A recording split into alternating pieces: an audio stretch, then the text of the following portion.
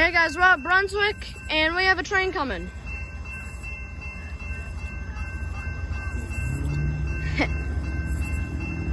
here he comes. We also have another rail fan over here called MC. If you can find him, shout out to you. Oh, here's his top light on.